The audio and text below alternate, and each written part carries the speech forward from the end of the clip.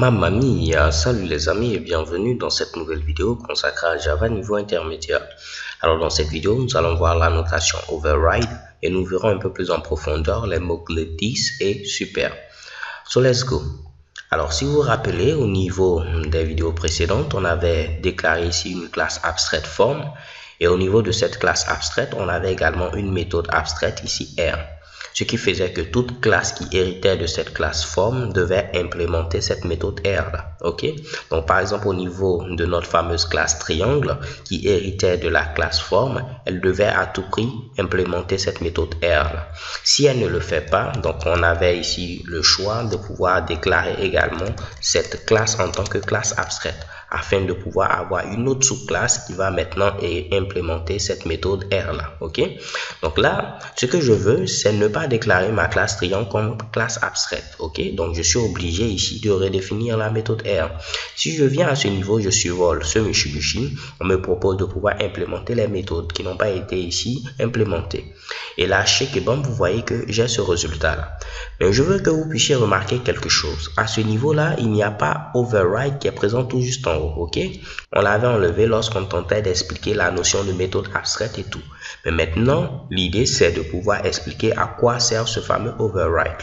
C'est ce qu'on appelle tout simplement une annotation. Donc, vous allez voir, les annotations sont de ce genre-là. On a arrobas suivi ici du nom de notre fameuse annotation. OK? Donc, on peut avoir, par exemple, suppress warnings. Et également, on peut mettre quelques Mitsubishi entre ces fameuses annotations-là. Donc, là, c'est juste un exemple. OK? Donc, les annotations, on a arrobas suivi ici de notre fameuse annotation. Override ici permet de dire que la méthode a été redéfinie. Lorsqu'on parle de redéfinition de méthode, on l'a déjà vu, c'est que cette méthode est présente au niveau de la classe mère et on change tout simplement son contenu. Ici, notre méthode n'avait pas de contenu, mais vous voyez qu'on change bel et bien son contenu. Parce que si je reviens à ce qu'on avait initialement, donc ce Mitsubishi là, je vais rajouter tout simplement override comme c'était présent ici. Donc, je peux mettre V, appuyer CTRL espace et on me propose ici override. Et bon. Donc, lorsque je mets cette annotation là, pour quelqu'un qui voit mon code, il saura que cette méthode est définie au niveau de la classe mère et on a tout simplement modifié son contenu. Et si on regarde la classe mère qui est présente à ce niveau, elle est bel et bien présente ici et on a notre méthode R. Donc là, je vais rapidement vous montrer une petite astuce. Si je viens au niveau de forme, si vous maintenez la touche contrôle enfoncée, vous avez maintenant la possibilité de cliquer ici sur vos différents éléments. Donc si je clique sur forme Kebam, je suis redirigé automatiquement vers la classe forme. De même, si je reviens par exemple au niveau ici de ma classe cercle, si je clique également sur forme, je suis redirigé ici vers forme. Ok? Je clique sur R, bon là, je suis au niveau de ma méthode R. Mais vous voyez que je pourrais me déplacer dans n'importe quel fichier en maintenant tout simplement la touche par exemple, on va venir au niveau de maths et j'appuie contrôle, je valide ici. Vous voyez, je suis redirigé vers ce Mitsubishi là. Mais là, notre fameux fichier a pour. Si vous avez suivi Java niveau débutant, vous savez que tous les fichiers qui ont pour extension vont contenir le bytecode. Ok? Donc, euh, si vous ne savez pas qu'est-ce que le bytecode, je vous invite à regarder tout simplement la série de vidéos pour débutants. Donc, rapidement, si on revient ici, on parlait de override qui permet de dire que notre méthode a été redéfinie. Donc, elle est présente au niveau de la classe mère et on a tout simplement modifié son contenu. Je vais fermer ici cette classe cercle là. Donc si on ne mettait pas cela, on n'aura pas de problème. Mais remarquez, par exemple, si je viens ici, je mets public int, je vais avoir une méthode toto qui est présente à ce niveau-là et je vais dire qu'elle retourne comme valeur, par exemple, 1, 1 qui est bel et bien entier. Donc cette méthode n'est pas présente au niveau de la classe mère. Donc je ne peux pas venir me permettre de dire que j'ai redéfini cette méthode là. Si je mets ici override, hmm, mamma mia, vous voyez automatiquement j'ai une erreur. On me dit quoi? On me dit soit il faudra définir cette méthode au niveau de la classe mère. Donc vous voyez automatiquement il ajoute Toto ici. Ce qui va me permettre de dire que j'ai bel et bien ici redéfini ma méthode Toto. Ou en deuxième lieu, ce que je peux faire, donc je vais enlever ce Mitsubishi. Comme deuxième choix, ce que je peux faire, c'est tout simplement enlever override parce qu'il ne s'agit pas d'une redéfinition. Ok? Donc vous voyez que ces éléments vont nous permettre de documenter notre code source et être également très clair en ce qui concerne toute la syntaxe de notre code source. Ok? Donc là, c'est ce que j'avais voulu vous présenter au niveau de Override parce qu'au niveau, par exemple, du développement Android, vous allez voir que vous aurez à redéfinir plein, plein de méthodes. Par exemple, la méthode onGrade, onStart, ainsi de suite. Et vous allez voir des arrobas override. Vous allez vous dire, mais ah, mais j'ai suivi un cours Java niveau intermédiaire, mais j'ai jamais compris à quoi servent ces Mitsubishi là. Aujourd'hui, vous pouvez déjà voir à quoi sert la notation override. Si vous voulez apprendre l'utilité de d'autres annotations, je vous invite à voir la documentation officielle et vous verrez que ce n'est vraiment pas du tout compliqué. Alors maintenant que cela est fait, on va passer aux choses sérieuses. Donc je vais rapidement enlever ce Mitsubishi là et rajouter notre fameux override qui était présent ici pour être beaucoup plus clair. Donc là, je vais vous parler du mot-clé 10 et du mot-clé super. Commençons premièrement par le mot-clé super. OK? Donc si je rouvre rapidement ici notre méthode form, vous voyez que ça c'est la classe mère. Et je vais prendre par exemple cette fois-ci la classe carré, ça c'est la classe fille. OK? Qu'est-ce qui va se passer si au niveau ici de forme, je définis un constructeur? Donc je peux définir un constructeur, je vais mettre par exemple ici public Ensuite, je mets ici forme, qui est le nom de notre classe. C'est comme ça qu'on définit le constructeur, on l'avait vu. Et au niveau de notre constructeur, je vais tout simplement afficher un petit message pour dire je suis le constructeur ok, de la classe forme. Donc, je mets ici je suis le constructeur de la classe forme. Check bon. Venons maintenant au niveau de notre classe fille carré. Je vais mettre également un constructeur. Donc là, je peux appuyer CTRL espace et vous voyez automatiquement, je peux choisir ici constructeur pour ne pas avoir me fatiguer. Comment est-ce que je dois faire si je souhaite appeler le constructeur de la classe mère? Ok, donc je vais appeler le constructeur ici de la classe mère qui est la classe forme. Donc pour ce faire, très facilement, il faudra utiliser le mot-clé super. Si vous mettez ici super avec des parenthèses en tant que méthode, cela permet d'appeler le constructeur de la classe mère.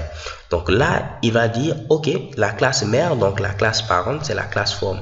Il demande à appeler son constructeur. Son constructeur, c'est ce Mitsubishi là qui doit afficher tout simplement je suis le constructeur de la classe forme. Donc normalement, si tout se passe bien, je dois avoir je suis le constructeur de la classe forme. OK? Donc euh, là, pour faire un petit test, je vais ouvrir rapidement héritage test et on va créer une nouvelle instance de la classe carré. Donc je vais mettre ici new, oups, new carré comme cela. Et normalement, sans rien faire, vu que le constructeur est appelé automatiquement lorsqu'on crée une nouvelle instance euh, d'une classe, donc new carré va appeler le constructeur. Ce constructeur va appeler le constructeur de la classe mère qui va afficher, qui va afficher plutôt ici, je suis le constructeur de la classe forme. J'espère que tout est clair. Je lance l'exécution de ce code et chez Kebam, je suis le constructeur de la classe forme. OK? Donc, si le constructeur, par exemple, de la classe mère prenait des paramètres, par exemple, ici, on va dire qu'il prend comme paramètre une chaîne de caractères. Donc, je vais mettre ici string chaîne. On va dire tout simplement qu'on va afficher la chaîne de caractères. Donc là, je n'aurai qu'à mettre ici chaîne. Donc, à ce niveau-là, pour passer les paramètres, vous les mettez tout simplement au niveau ici de super en parenthèse. Donc, je veux passer un paramètre, par exemple ma chaîne de caractères, je mets ici Toto. Donc, normalement, si je lance l'exécution de ce Mitsubishi, Toto doit apparaître ici. Donc là, j'ai une petite erreur. On va voir d'où vient cette erreur. Mamma mia, tentant de relancer. Donc, déjà au niveau de cercle, j'ai un petit problème. OK? Donc là, si je viens à ce niveau-là, on me dit qu'il faut ajouter un constructeur. Donc, c'est tout à fait normal puisque j'ai mis maintenant un paramètre au niveau de chacune des instances, je serai obligé d'ajouter ce Mitsubishi-là. Si j'enregistre, je tente de lancer l'exécution. Donc, je reviens ici, je tente de lancer l'exécution de ce code. J'aurai également la même erreur. Au niveau de triangle, je dois faire pareil, ainsi de suite. OK? Donc là, je crois que ce sont toutes les classes filles, on verra. Mais si je viens ici, je lance l'exécution de ce code, vous voyez, bon Toto apparaît à ce niveau-là. Donc, si notre fameux constructeur prenait d'autres paramètres, on pouvait les mettre à ce niveau-là, OK Et également, pour les appeler, il fallait passer ces paramètres-là. Donc là, je vais revenir à ce qu'on avait initialement, comme cela, et également à ce niveau-là, chez Kebom. Ici également, je peux enlever ce Mitsubishi, et parfait, ici également, je peux enlever cela. Donc les gars, comme vous pouvez le voir, c'est vraiment très très très simple. Super, lorsqu'on l'utilise en tant que méthode, va permettre de pouvoir appeler le constructeur de la classe mère. On peut passer des paramètres comme on le souhaite. Ce que je ne vous ai pas dit, c'est qu'on peut utiliser super autrement. Je m'explique. Au niveau de la classe forme, je peux avoir des propriétés et des méthodes, n'est-ce pas? Donc, si j'ai une propriété, par exemple, je vais prendre comme propriété ici un entier, euh, rien de bien vraiment intéressant ou en rapport avec ce qu'on est en train de faire, mais je vais mettre, pourquoi pas, public, je vais mettre à ce niveau-là int, et je vais l'appeler ici propriété 1. Et là, je vais mettre comme valeur, par exemple, ici 5. Comment est-ce que je dois faire si je souhaite, depuis la classe carré, pouvoir appeler ici la propriété qui est présente à ce niveau-là. Donc là, vous pouvez vous dire, mais qu'est-ce qu'on aurait raconte? Parce que là, tout simplement, on a dit que lorsqu'une classe hérite d'une autre classe, elle hérite des propriétés et des méthodes qui sont publiques ou protected. Donc, elle va directement hériter de prop 1. Ce qui veut dire que si j'ai besoin d'utiliser prop 1, qu'est-ce que je peux faire? Je peux tout simplement prendre une nouvelle instance de notre classe carré et accéder maintenant à prop 1. Testons ce Mitsubishi. Je peux mettre ici new carré, ok, pas de souci. Et je vais rajouter maintenant un point et avoir accès à propre 1. Donc si je veux vérifier si cela fonctionne, je mets ici 6 out comme cela. Je vais rapidement couper cela et le mettre à ce niveau-là, ok. Si je lance l'exécution, je dois avoir normalement 5 qui apparaît et chez Kebam 5 parce que c'est 5 qui était présent à ce niveau-là. Maintenant, je vais essayer de rendre les choses un tout petit peu compliquées. Si je viens également au niveau de la classe fille je définis à ce niveau-là propre 1. Donc je viens, je copie ce Mitsubishi, je le mets également ici et je vais mettre comme valeur 15. Donc cette fois-ci, lorsque je vais demander ici à accéder à prop 1 au niveau du nouvel objet de la classe carré, qu'est-ce qu'il va mettre? Il va m'afficher ici 15 parce que là, j'ai eu à mettre une nouvelle valeur. Donc la nouvelle valeur va prendre ici l'ascendant. Et si je lance, je dois avoir ici 15. Et chez Kebam, j'ai 15 qui apparaît ici, on s'y attendait. Maintenant, qu'est-ce qui va se passer? Là, au niveau du constructeur, donc je vais faire CTRL espace, je vais avoir accès au constructeur de la classe carré. Supposons que j'ai besoin ici de prop 1 qui est présent au niveau de la classe mère parce que cela va me permettre de pouvoir faire quelques petits calculs. Donc là, ce que je vais faire, j'ai 5 qui est présent à ce niveau-là. Ok, je vais mettre ici tout simplement 10 pour que les calculs soient très simples. Si je viens à ce niveau, si je veux avoir accès à prop 1 qui est présent au niveau ici de la classe mère, je dois utiliser toujours super, mais cette fois-ci sans les parenthèses je mets ici un point et je peux avoir directement accès à propre 1. Donc lorsque vous mettez super avec des parenthèses, il va appeler le constructeur de la classe mère. Mais lorsque vous mettez super sans les parenthèses suivi immédiatement d'un point, cela va permettre de pouvoir appeler soit les propriétés, soit les méthodes de la classe mère. Ok? Donc là, j'appelle ici la propriété propre 1 qui est présente au niveau de la classe mère ici forme. Donc j'aurai comme valeur 5. Ensuite, je peux dire multiplie ce Mitsubishi là par notre propre propre 1. Donc je peux mettre ici directement propre 1, ce qui va faire comme si à ce niveau là j'ai 5 multiplié par 10. Ok? Donc là, je vais tenter tout simplement de l'afficher en mettant 6 out, je vais rapidement couper ce Mitsubishi là et le mettre tout juste à l'intérieur.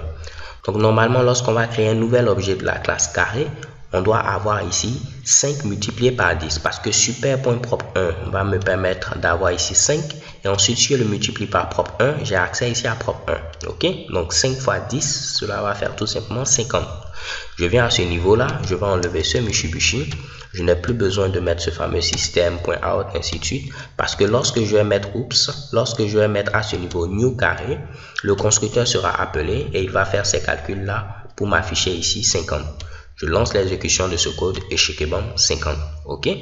De même, pour être un peu plus clair, si vous le souhaitez, vous aurez pu mettre ici un fameux 10 dire que je veux accéder à la propriété propre 1 de l'objet courant. On aura toujours le même résultat, on aura toujours 50. Chez Kebam, pas de problème, j'ai toujours 50. Donc là, si j'avais par exemple une autre méthode pour que ce soit encore très clair, les gars, je vais mettre ici public comme cela. Je vais mettre double.